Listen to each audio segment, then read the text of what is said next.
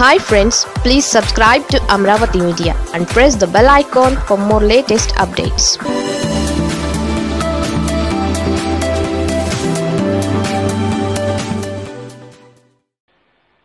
Vivekananda Reddy హత్య case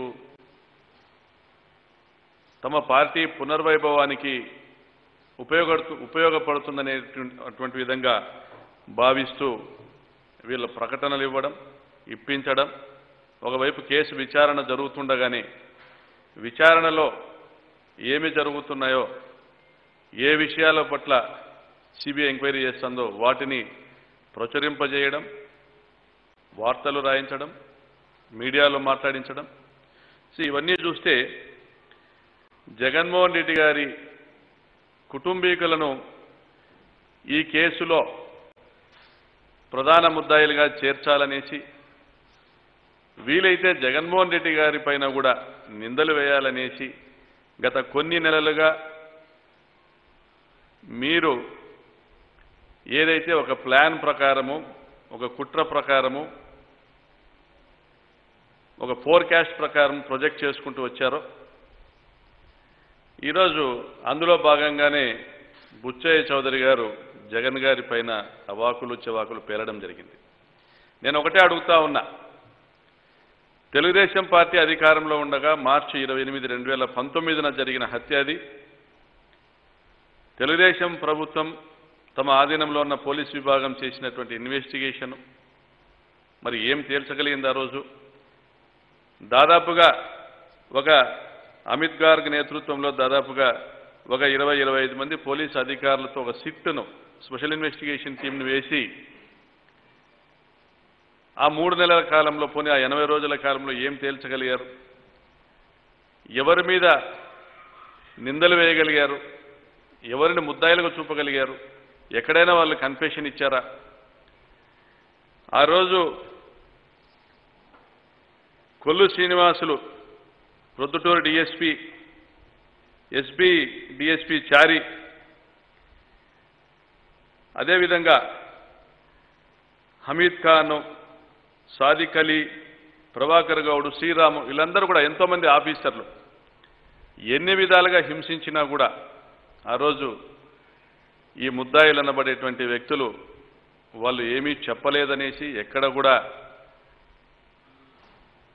confess చేయలేదనేసి వార్తల్లోనూ social మీడియాలోనూ రావడం జరిగింది. అయితే అందులో భాగంగా ఎర్రగంగిరెడ్డి ఎవరైతే హంతకుడని ఈరోజు ముద్దాయిగా నిర్ధారణ చేయడం జరిగిందో ఆ వ్యక్తి ఇచ్చిన కన్ఫెస్ స్టేట్మెంట్లో ప్రకారము ఎర్రగంగిరెడ్డి చెప్పాడు పైన పెద్దోళ్ళు ఉన్నారు వాళ్ళందరూ మనల్ని కాపాడుతారు కాబట్టి ధైర్యంగా హత్య చేయమని చెప్పాడనేసి ఒక కన్ఫెషన్ స్టేట్మెంటు ఈరోజు మనం చూస్తా ఉన్నాం. మరి ఆ రోజున్న పెద్దోళ్ళు ఎవరు? ఆ రోజున్న ప్రభుత్వం ఎవరిది? చంద్రబాబు నాయుడు గారు ముఖ్యమంత్రి జిల్లాలో ఆదినారాయణ రెడ్డి గారు మంత్రి. ఆ రోజున్న పెద్దలు ఎవరైతే ఉన్నారో చంద్రబాబు నాయుడు గారో బీటెక్ రావో ఆదినారాయణ రెడ్డో వివేకానంద రెడ్డిని ఎమ్మెల్సీ ఎన్నికల్లో ఓడించిన వాళ్ళు. వివేకానంద రెడ్డికి తమ కుటుంబ కలహాలు ఉన్నాయి. అందులో భాగంగా ఆయన అల్లుడు నర్రెడ్డి రాజశేఖర రెడ్డికి వివేకానంద రెడ్డికి పొరపచ్చాలు ఉన్నాయి. వివేకానంద రెడ్డి గారి రెండో వివాహం వివాహం విషయంలో మరియు ఆయన ఆస్తుల్ని తమ రెండవ కుటుంబానికి ఇస్తాడన్న అనుమానాలు ఉన్నాయి నరెడ్డి రాజశేఖర రెడ్డికి. ఆ క్రమంలో ఆయన ఆదినారాయణ రెడ్డితో సంబంధాలు ఏర్పరచుకోవడం. అదేవిధంగా హత్య జరిగిన రోజు వివేకానంద రెడ్డి గారి పిఏ కృష్ణారెడ్డి నరేడి రాజశేఖర రెడ్డికి ఫోన్ చేసి ఇలా హత్య జరిగింది ఆయన భౌతిక కాయం పక్కన ఒక లేఖ ఉంది. ఆయన ఫోన్ కూడా పడి ఉందంటే ఆ లేఖను ఆ ఫోన్ను దాచి ఉంచమని నర్రెడ్డి రాజశేఖర రెడ్డి చెప్పాడు.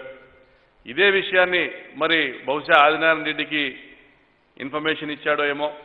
ఆదినారాయణ రెడ్డి ఎనిమిది ఎనిమిదిన్నర గంటలకే ఆ లేఖ విషయంగా మాట్లాడడం జరిగింది. మరి ఆ లేఖ విషయంగా ఎందుకు ఈరోజు తెలుగుదేశం పార్టీ పెద్దలు కానీ ఏవిఎన్ ఆంధ్రజ్యోతి ఇతర మీడియా ఏదైతే దీన్ని వక్రీకరించే ప్రయత్నం చేస్తున్నారో వాళ్ళు కానీ ఎందుకు ఆ లేఖ వి- లేఖ బహిర్గతపరచాలని ఎందుకు మాట్లాడడం లేదు? ఎందుకు నరేడి రాజశేఖర రెడ్డి ఆ లేఖను దాచిపెట్టమని మాట్లాడాడు? ఆ లేఖలో ఉన్న సారాంశం ఏంది? ఆ లేఖను దాచిపెట్టమని చెప్పింది ఎవరు నర్రెడ్డి రాజశేఖర రెడ్డికి ఆ పెద్దోళ్ళు ఎవరు? నరేడి రాజశేఖర రెడ్డి వెనకలున్న పెద్దోళ్ళు ఎవరు? లేఖను దాచి ఉంచమని చెప్పిన పెద్దోళ్ళు ఎవరు? సిబిఐ ఎందుకు ఆ లేఖను మరణ వాంగ్మూలంగా పరిగణించడం లేదు? సిబిఐ ఎందుకు ఆదినారాయణ రెడ్డి చంద్రబాబు నాయుడు నరెడ్డి రాజశేఖర రెడ్డి బీటెక్ రవిల ఫోన్ కాల్స్ ఫోన్ సంభాషణలపై దృష్టి పెట్టడం లేదు. వీళ్ళు నలుగురు కలిసి కుట్ర చేసి ఈ కార్యక్రమాన్ని మొదలు పెట్టారు. ఈ కార్యక్రమాన్ని ముగించడానికి ఈరోజు సిబిఐ అనేది ముందుకొచ్చింది కాబట్టి మళ్ళీ ప్రయత్నాలు చేస్తున్నారని రాష్ట్ర వ్యాప్తంగా ప్రజలు చర్చించుకోవడం జరుగుతూ ఉంది. నిజంగా పెద్దోళ్ళు ఎవరు? చంద్రబాబు నాయుడు గారే వివేకానంద రెడ్డి గారిని హత్య చేశారా? అని అనుమానాలు కూడా ప్రజల్లో ఈరోజు తలెత్తడం మనం చూస్తూ ఉన్నాం. ఎందుకంటే ఆ రోజు గంగిరెడ్డి ఇచ్చిన వాంగ్మూలంలో పెద్దోళ్ళు ఉన్నారని చెప్పారంటే నిజంగా ఆ పెద్దోళ్ళు ఆ రోజు ప్రభుత్వంలో ఉన్న పెద్దలు వాళ్ళే కదా. ఆ రోజు ప్రతిపక్షంలో ఉన్నది వైఎస్ఆర్ కాంగ్రెస్ పార్టీ జగన్ గారు. మరి ఆ పెద్దోళ్ళు ఆ రోజు ప్రభుత్వంలో ఉన్న పెద్దోళ్ళు వాళ్ళైతే వాళ్ళపైన విచారణ ఎందుకు చేయడం లేదు? ఎందుకు వీటి మీద కన్క్లూజన్స్కి వచ్చి తాము దగ్గరుండి చూశాము దగ్గరుండి విన్నామనేసి డీజీపీ గారు ఇలా మాట్లాడారని దగ్గర దగ్గరుండి విన్నామనే అటువంటి విధంగా ప్రచారం చేస్తున్న పెద్దోళ్ళు వాళ్ళకి సంబంధించిన మీడియాను ఎందుకు విచారించడం లేదు? సిబిఐ అధికారి ఎవరైతే ఈరోజు విచారణ చేస్తా ఉన్నారో ఆయనకు చంద్రబాబు నాయుడు గారికి నరెడ్డి రాజశేఖర రెడ్డికి వీళ్ళందరికీ సంబంధించిన సంభాషణలను బయటికి తీసుకొని రావాలా? మేము డిమాండ్ చేస్తా ఉన్నాం. ఏమి సంభాషణలు జరుగుతూ ఉన్నాయి? ఏమి కుట్ర జరుగుతూ ఉంది? ఏ విధంగా అయితే రాజశేఖర రెడ్డి గారి మరణం తర్వాత రాజశేఖర రెడ్డి గారి ఆశయాల గురించి కాంగ్రెస్ పార్టీ నుంచి బయటికి వచ్చిన జగన్మోహన్ రెడ్డి గారిని ఎదుర్కోలేక రాజశేఖర రెడ్డి గారి సంక్షేమ పథకాల ఫలాలు జగన్మోహన్ రెడ్డి గారికి వెన్నంటే నడుస్తాయన్నటువంటి ఒక భయంతో ఏ విధంగా అయితే సిబిఐని తెర మీదకి తెచ్చారో చంద్రబాబు నాయుడు గారు ఆ రోజు మళ్ళీ అదే విధంగా ఈరోజు సిబిఐ అనే సంస్థ విచారణలోకి వచ్చిన తర్వాత ఆ కుటుంబంలో ఉన్నటువంటి అభిప్రాయ భేదాలు. నర్రెడ్డి రాజశేఖర రెడ్డి గతంలో కూడా వివేకానంద రెడ్డి గారి ఆస్తికి వారసుడు కావాలనుకున్నాడు. ఆయన ఆయన రాజకీయ జీవితాన్ని తన చేతుల్లో పెట్టుకుని ఆయన్ని తప్పుదోవ పట్టించాడు.